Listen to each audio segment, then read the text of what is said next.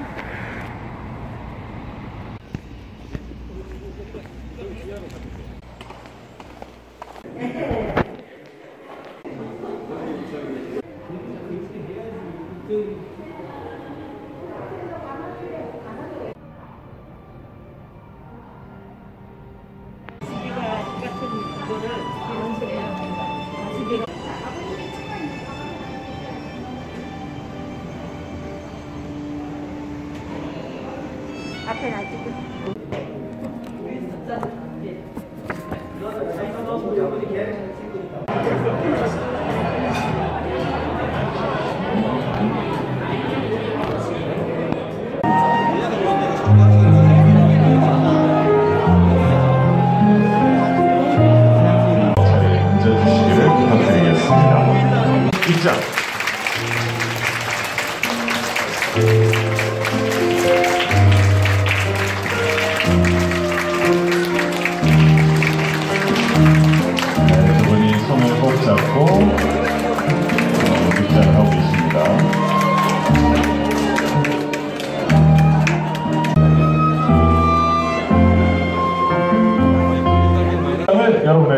박수로 맞아보겠습니다. 신랑 입장!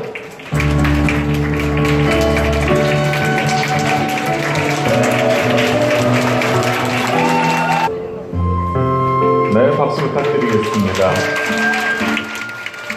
문이 열리고 우리 신부님이 거짓노드의 입장을 해 자, 이제 두 사람이 손을 맞잡고 마지막 그 연단을 오고 있습니다.